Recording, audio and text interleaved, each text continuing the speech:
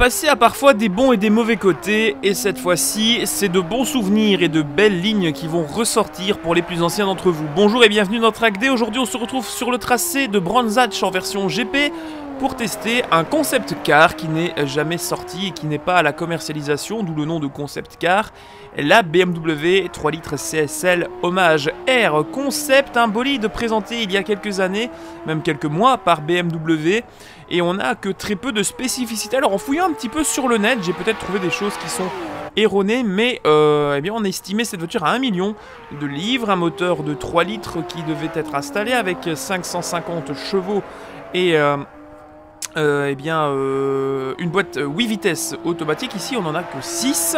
C'est une propulsion, 1 0 à 100 en 3 secondes 7 pour une vitesse de pointe euh, de 260 km/h environ. Alors cette voiture-là est testée aujourd'hui dans Assetto Corsa en mode. C'est une conversion, je crois, de Gran Turismo où cette voiture était proposée.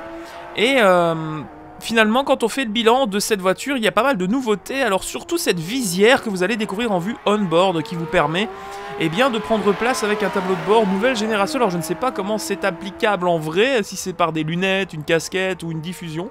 Mais c'est assez original pour le coup. C'est un peu pour ça que j'ai testé cette voiture, à part le fait que ce soit une BMW classique. Euh, eh bien, il n'y avait pas trop d'intérêt. Mais c'est vrai quand j'ai découvert cette feature dans, dans ce mode, je l'ai trouvé plutôt sympa. Je vous invite aussi à tester, c'est assez... Euh, assez sympa. On a un peu un côté wipeout comme ça avec la l'affichage tête haute qui euh, vous revient euh, comme si vous étiez avec une visière de casque et c'est plutôt sympa en tout cas un mode gratuit que vous pouvez retrouver dans la description et qui je pense vaut le détour juste pour tester voilà les amis je vous laisse profiter du son de cette voiture plutôt bien réalisée dans ce track day